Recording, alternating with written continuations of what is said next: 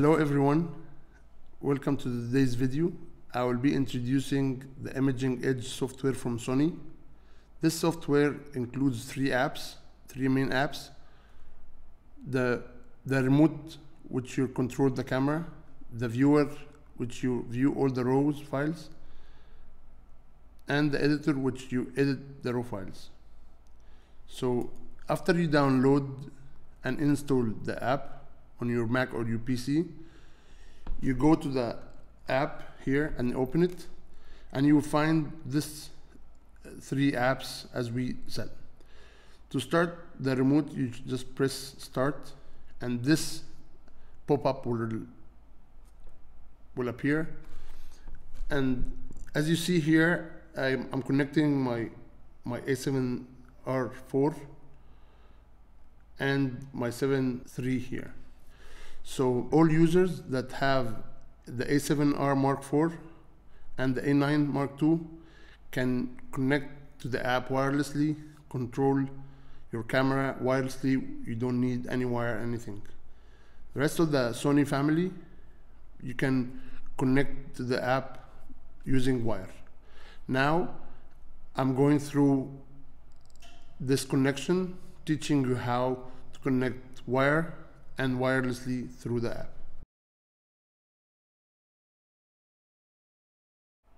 Now I will show you how to connect the camera wirelessly to the remote app. First you need to go to the menu. When you open the menu, you go to the network tab. In the first page, you go to the PC remote function and you turn it on, it will be off. You turn it on and go here and the message will be Wi-Fi direct. After that, you need to set up more settings. You go to the second page and in the Wi-Fi direct info, you will find the password that you will need later on to connect the camera. Copy this password. Then you need to set up this setting. If you want to save your capture pictures to the PC only, you select PC only.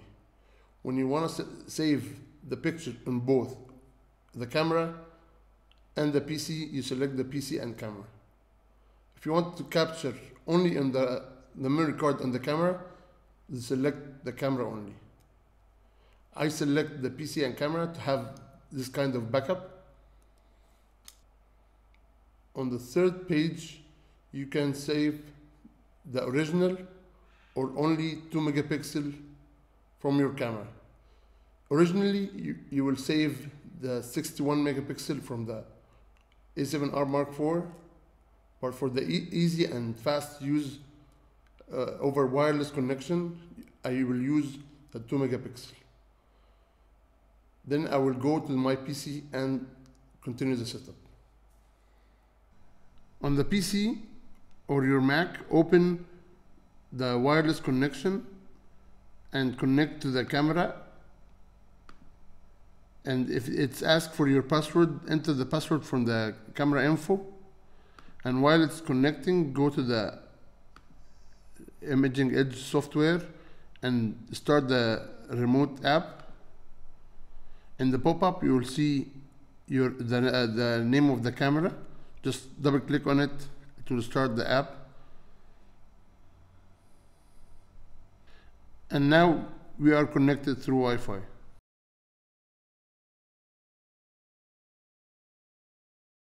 Now I will show you how to connect your camera to the remote app using USB. I'm using USB-C and you need your camera. All you need is go to the menu. Once you open your menu, you go to the network tab and on the first page, you scroll down to the PC remote function, turn it on if it's not on, and select the method to be USB, and that's it. This is all you need to connect your camera through USB. After you're done with your setup in the camera, all you need is connecting the camera with the USB. After we connected our A7R Mark IV to the USB, it will appear in the pop-up here. Just double click to open the remote app.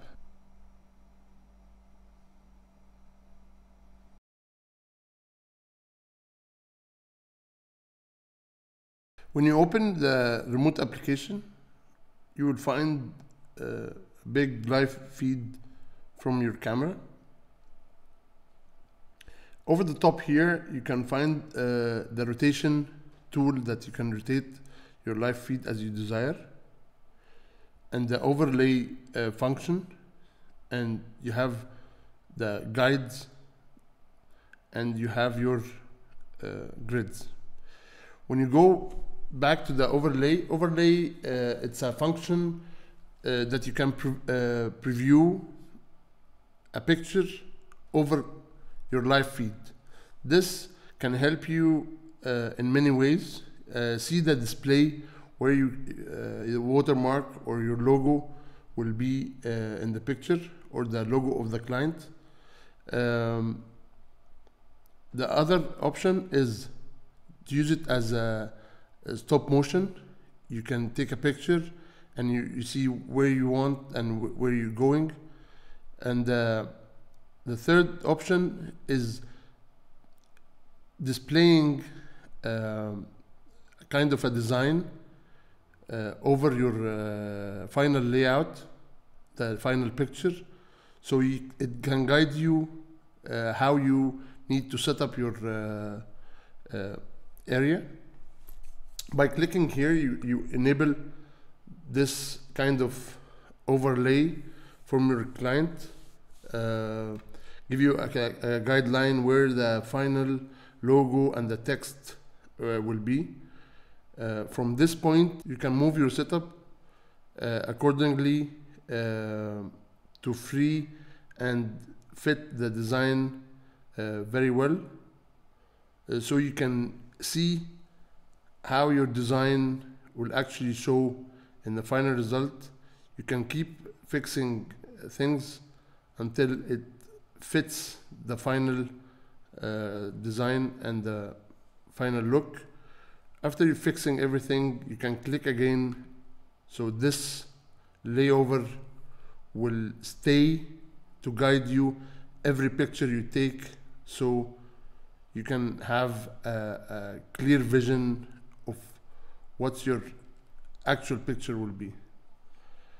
For, for the guides, um, if you wanna uh, put the guides on and uh, specifically uh, put the guides here and you wanna match where the, the knife will be every time in the same shot so you can move the knife toward the guide and make this like a, a remark for you uh, how you place the knife every time you want to uh, place uh, a thing. Uh, by clicking on it again, it will lock the location of the guide. You cannot move it anymore. By double, by clicking again, uh, actually enable when you see the orange arrow, you can actually move it uh, slide by slide or line by line like I'm, what I'm doing here so I can uh, fix where's the, the, guidelines or where's my lines that actually uh, I want to place my plates in it. So it's a, a very uh, quick and a nice way to actually guide you. Uh, by clicking here, uh, it's actually uh, enable the grid. So you can compose your thirds. You can see the composition well. From this drop down menu, you can actually choose the, the pattern that you want and the actual color and the thickness of uh, the guide. By clicking it and again it will actually disappear. This two last options affects the live feed. And the first one uh, actually uh, turn on and off the reflection of their settings on your uh, final image. When it's it's white uh, it is reflecting your camera settings. When it's orange it's actually disabling this function uh, allowing you to see uh, the camera even if the settings is uh, totally dark and you're using the flash to light the scene you can actually see what's in your live feed regarding your settings uh, of the camera. I will leave it uh, to reflect my settings. This last uh, button will actually turn off your live feed completely and you can turn it on again from using this one. Now let us explore the right side tab here. The first tab is the shooting tab where you can find the auto exposure lock and the flash lock and the white balance lock. And this uh, buttons are the AF acts as a half shutter press.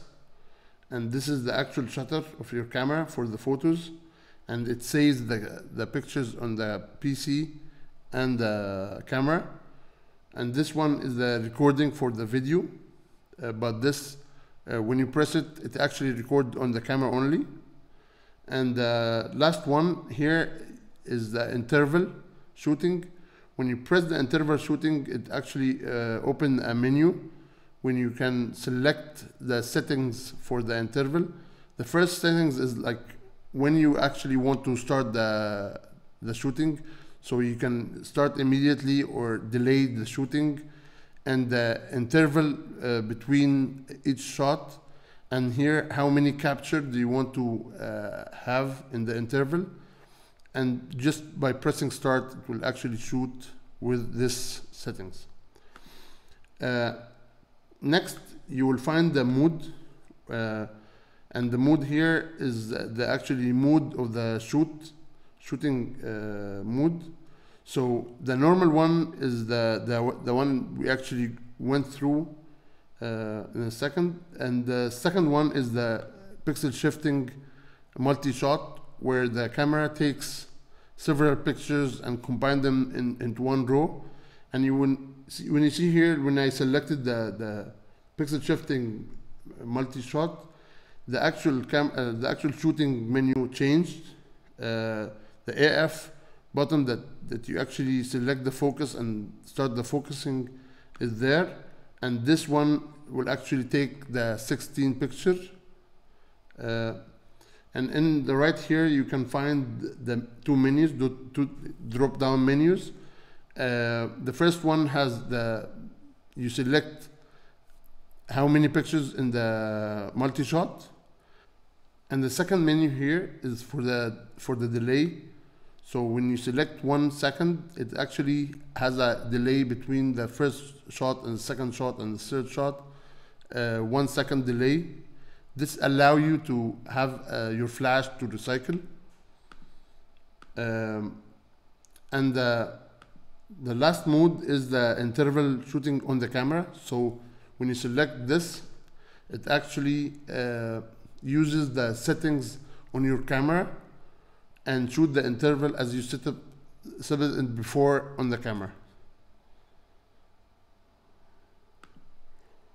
Next here is the main settings uh, menu.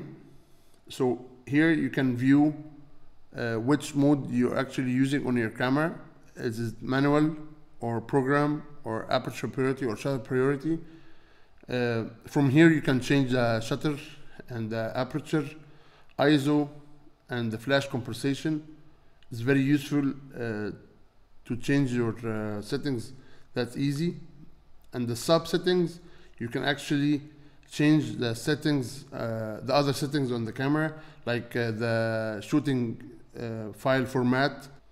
And here you can change the aspect ratio shooting drive white balance everything in your camera you can change in the in the app and this is really nice uh, moving uh, to the focus um, the focus tab is really useful when you do stacking because it allow you to switch your camera to a manual focus and control your focusing manually from the app. So these uh, buttons will allow you to uh, change the focus and uh, micro adjust the, your focus. And when you enable the manual focus it actually enable the magnification here as you see. So when you select uh, a point of focus you can actually zoom in and focus exactly or precisely on uh, your subject